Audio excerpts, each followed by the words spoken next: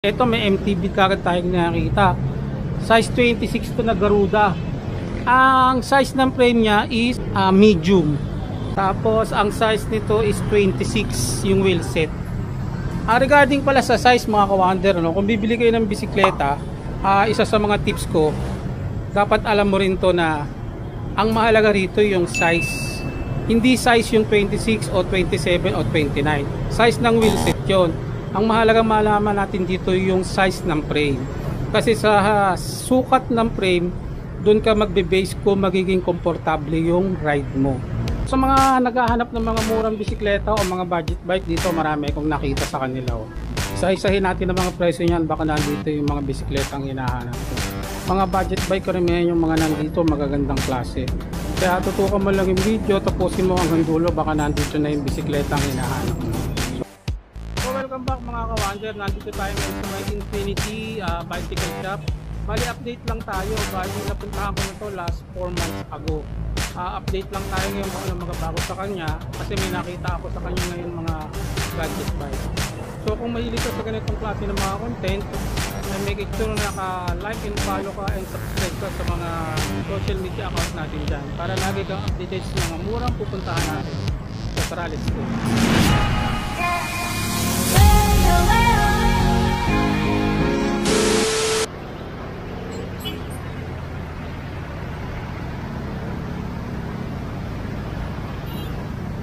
So bali ang lugar na to, madali lang hanapin. Etong kali na to, pagkagaling ka ng Abinida.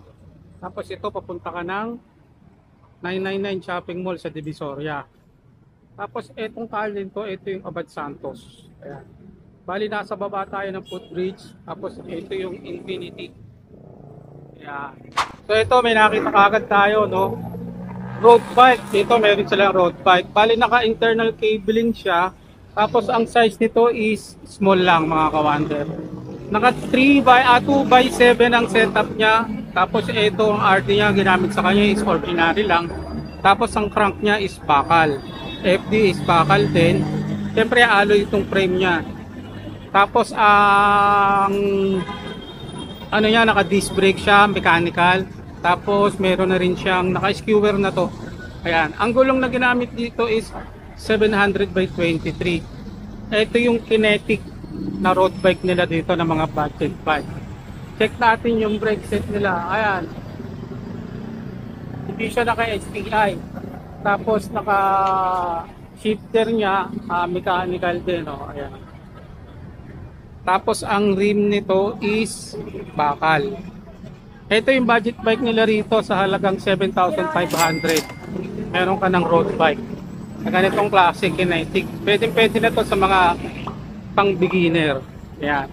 Tapos edi kung mahilig ka namang sa mga adventure, may available sila rito BMX, nagkakahalaga lang to ng 3.5. Still lahat yan mga ka-wonder. Yan, size 20 yung gulong niya.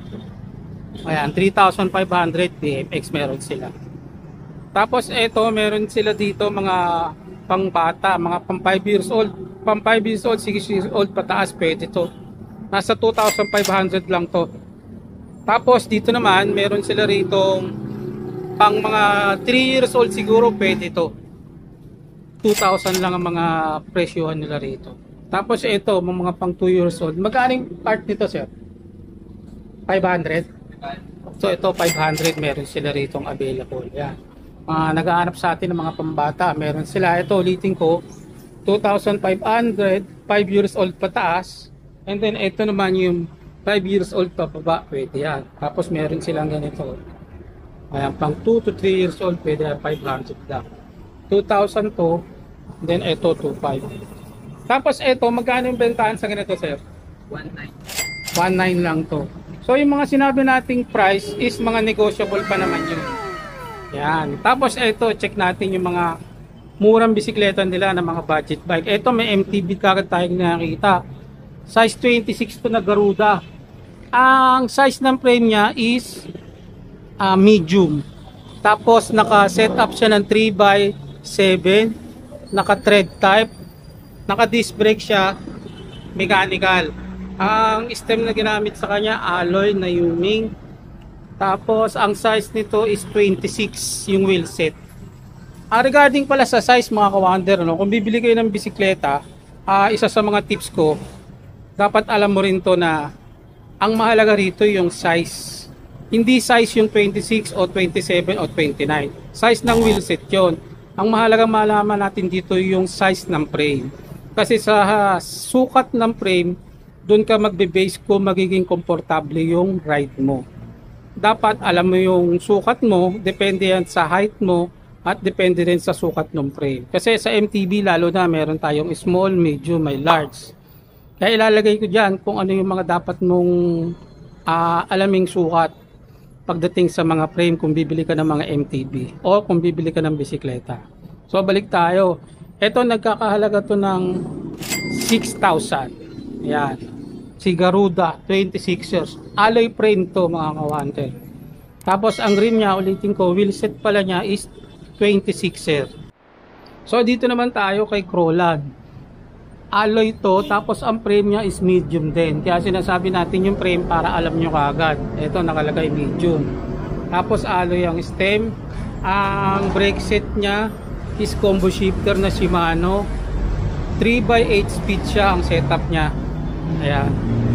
Ito siya. Tapos uh, Shimano stock parts din yung mga ginamit sa kanya tread type siya na 8 speed disc brake pero mechanical ito ang price nila rito is 7,500 prices is negotiable mga kawalan ang size ng wheelset niya is 27.5 ang ganda-gandaan dito yung hubs niya na ginamit sa kanya eh nakaano na uh, skewer o yung tinatawag na quick release. Ayan.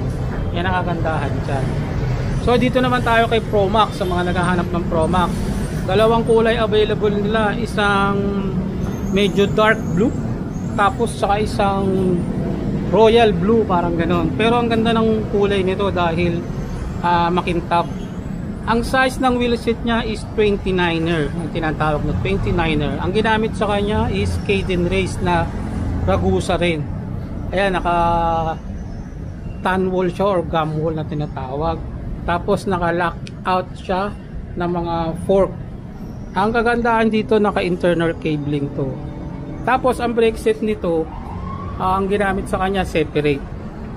Hindi pa siya hydraulic, mechanical disc brake siya.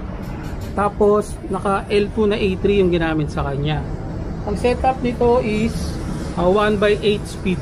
Tapos cassette type na ba to sir? Thread type. Thread type pa lang pala to, sorry yan. Thread type yung ginamit sa kanyang tags. Ito, alloy to, 29er. Ang size ng frame niya is medium. Dalawang klase yan. Isang blue, at saka isang etong green. Ang price range nila rito is nagkakalaga ng 8,000. Uh, 8,000, negotiable pa yan. Tapos ito namang isa, uh, Pro Max din siya, kaso ang size niya is 27.5 ang wheel set. Ang ginamit naman na frame sa kanya na size is medium pa rin. Uh, ito naka-separate na rin siya na brake set tapos naka A3 rin ang ginamit sa kanya. Ang setup nito is 1 by 8 yan. Nagkakahalaga to ng 7,500 yan. So ulitin ko mga kawader meron sila mga budget bike available ngayon dito. Ito si Garuda size 26er medium size ang frame is 6,000 si Crolan naman meron sila rito 7,000 27.5 ang wheel set medium size ang frame. Tapos si Pro Max dalawang klaseng kulay 29er ang wheel set medium size ang frame nasa 8,000 and then eto nga si Pro Max na 27.5 medium size ng frame is 7,500 ayan. Tapos ito yung mga pang budget bike nila. Ito sir, magkano itong BMX? 3.5. So ito yung 3.5 din ng mga BMX. Size 20 yung size niyan. Tapos ito kagandahan dito, may nakita ako, Agogo Taiwan. Magandang klaseng brand to mga kawanter. Alloy frame to, ang size nito is uh, 26er yung gulong niya. Check natin yung frame size niya. Ang frame size nito is medium. Medium size yung frame niya. Tapos ang kagandahan dito, ito, ah, giant yung ginamit sa kanyang seat post pati itong ano seat clamp talagang giant parang pinasadyang ano to naka thread type na ba to sir? Cassette type. cassette type pa rin na 1 by 8. 1 by 8 speed. Tapos ang ginamit sa kanyang Falcon. ano, RD is Falcon. Ayun yung mga bagong lumalabas ngayon. Si Agogo mga kawander is Taiwan made yan. Magandang klaseng bike to na 27 ah 26ers to. Available sa kanila. Tapos yung ano nyo, yung fork niya is Paxer na gina, ah, ginamit na Paxer yung fork na ginamit. May lock na rin siya.